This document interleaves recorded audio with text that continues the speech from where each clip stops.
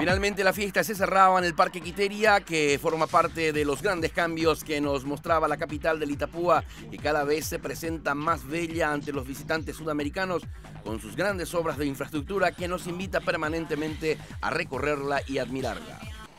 En la super especial, el primero en partir volvió a ser Thiago Weiler para registrar con un tiempo de minuto 52 el mejor registro de la tarde que al mismo tiempo le daba la segunda victoria de la temporada con lo cual se mantenía en el primer lugar del campeonato a los mandos del Evo 9, probablemente el mejor del parque, acompañado de Eduardo Gómez con quien alcanzaba el segundo logro consecutivo del año. Renault Fung saltaba la pista desde el tercer lugar de la general, aunque su posición inicial lo había asumido desde el principio de la etapa Hitor Galeano. Su tiempo no era alto, minuto 57, y acababa en el tercer lugar de la clasificación de Codasur y cuarto en la general del Nacional.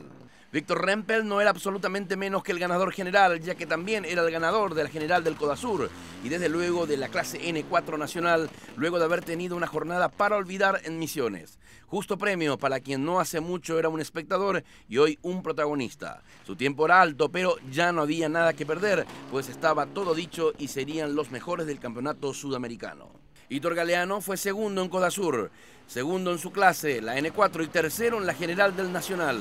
Pero tras una jornada negra con atrasos y problemas como los del sábado, las posiciones y los puntos eran muy importantes. Marcaba el tercer mejor tiempo en la super especial, alcanzando una digna despedida.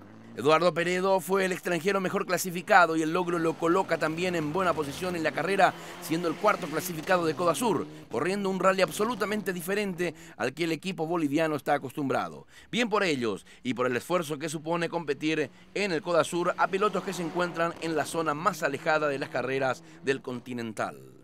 Diego Domínguez volvía a aparecer con el Kia Río dando un espectáculo de despedida muy bien recibido por el público que se llegó al circuito de Quiteria para ver a quien defiende los colores del Kia en el Campeonato Nacional Argentino.